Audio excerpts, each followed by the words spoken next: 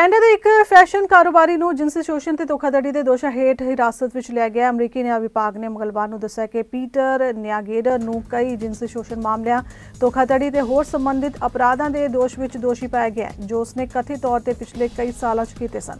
ਨਿਆਂ ਵਿਭਾਗ ਨੇ ਕਿਹਾ ਕਿ ਵਾਸ਼ਿੰਗਟਨ ਵੱਲੋਂ ਗ੍ਰਿਫਤਾਰੀ ਵਾਰੰਟ ਜਾਰੀ ਕਰਨ ਦੇ ਬਾਅਦ ਕੈਨੇਡਾ ਪੁਲਿਸ ਨੇ ਸੋਮਵਾਰ ਨੂੰ ਕੈਨੇਡਾ ਦੇ ਵਿਨੀਪੈਗ ਸ਼ਹਿਰ ਤੋਂ ਨਿਆਗੇਡਰ ਨੂੰ ਹਿਰਾਸਤ ਵਿੱਚ ਲਿਆ। ਉਸ ਨੂੰ ਅਮਰੀਕਾ ਵਿੱਚ ਹਵਾਲਗੀ ਲਈ ਅਤੇ ਟ੍ਰਾਇਲ ਲਈ ਭੇਜੇ ਜਾਣ ਦੀ ਉਮੀਦ ਹੈ।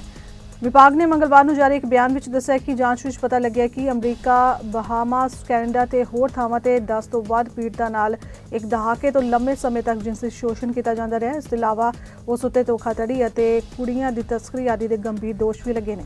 ਇਹਨਾਂ ਵਿੱਚੋਂ ਕਈ ਨਾਬਾਲਗ ਕੁੜੀਆਂ ਵੀ ਸਨ।